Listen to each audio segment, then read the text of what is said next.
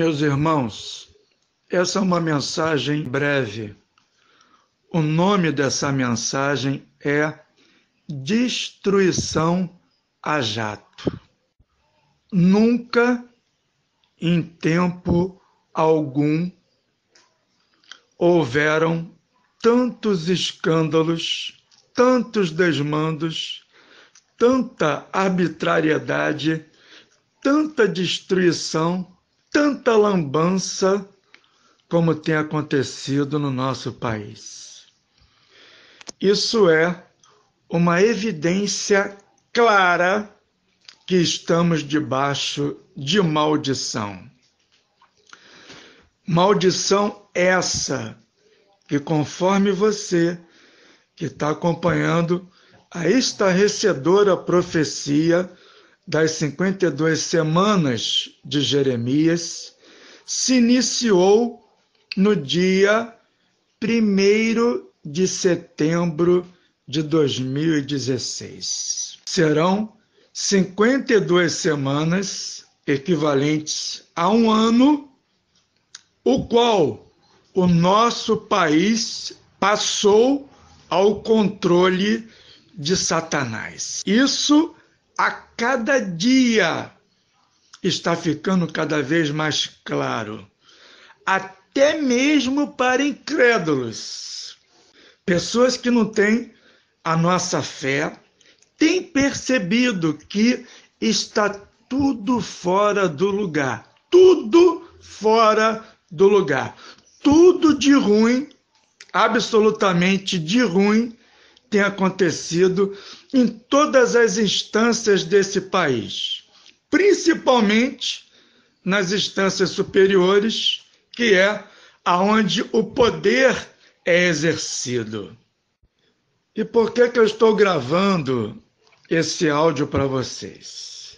Nós, meus irmãos e minhas irmãs, precisamos, em meio a essa tempestade a essa nuvem negra que pairou sobre o nosso país, nós precisamos encontrar o equilíbrio necessário para conviver com essa situação.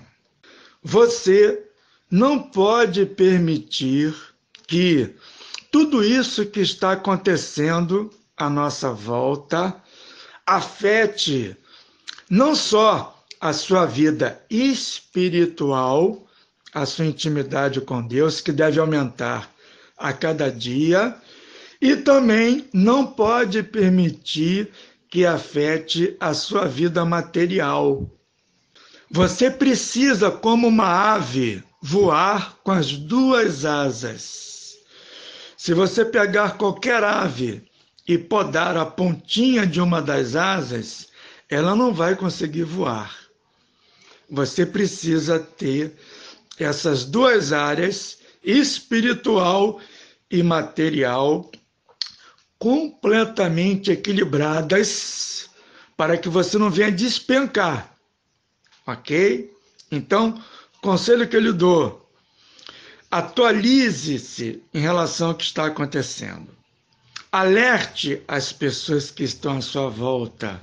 Porém, não fique obcecado, obstinado por esse tema, nem muito menos paralisado, estagnado com o que está acontecendo com o nosso país. Ok? Continue avançando nessas duas áreas, espiritual e material. Faça diariamente o seu devocional, leia a Bíblia, ore, ouça louvores, permaneça e busque a presença de Deus e trabalhe prospere, avance, peça a Deus direção para que você não seja afetado por essa grande crise que abate o mundo e abate o nosso país. Para finalizar, é importante que todos entendamos o que de fato e de verdade a síntese do que está acontecendo. O que está acontecendo hoje no Brasil é que o mundo está em crise. Os países estão em crise. Crise financeira, crise moral, crise política e principalmente crise espiritual. Aqueles que mandam no mundo estão vendo que precisam se apoderar do nosso país para que, através disso, paguemos a conta da falência do capitalismo mundial. Ok? Essa é a síntese da situação. O nosso país, o Brasil, por ser um território continental e por ter políticos corruptos e acessíveis à elite mundial, ou seja, uma elite brasileira barata, é comprada por muito pouco. Então, eles se apoderando dessa elite brasileira, elite essa que se encontra no poder político e no poder judiciário, principalmente. Então, essa elite mundial se apoderando dessa elite brasileira, a comprou e, a comprando, adquiriu, entre aspas, esse adquiriu, o direito de explorar tudo que tem nesse continente chamado Brasil. E nós é que vamos pagar a conta da falência mundial. É o que está acontecendo sem tirar nem pôr. Essa é a simples verdade, ok? E eu já vou lhe falar o que, que vai acontecer nos próximos meses. Isso que eles estão fazendo hoje, eles sempre fizeram no decorrer da história. Desde Nimrod, sempre exploraram os mais fracos. Ok? Isso aí não é novidade.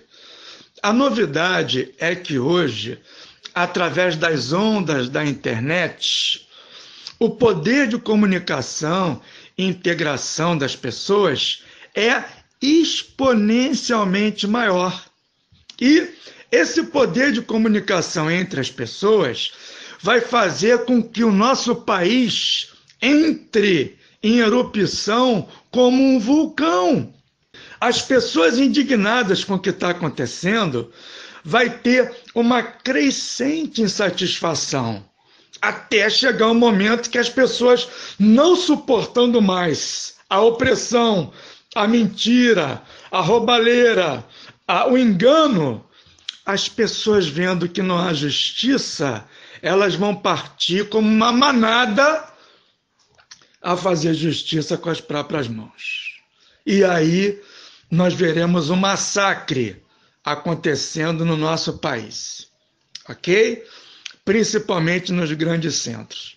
Então, resumo: fique atento não fique obstinado pelo que está acontecendo. Não pare a sua vida espiritual. Não pare a sua vida material. Procure alertar as pessoas, ok? E jamais abra mão da direção de Deus, pois a direção de Deus, saber para onde estamos indo, saber que direção tomar, é muito mais importante que a velocidade.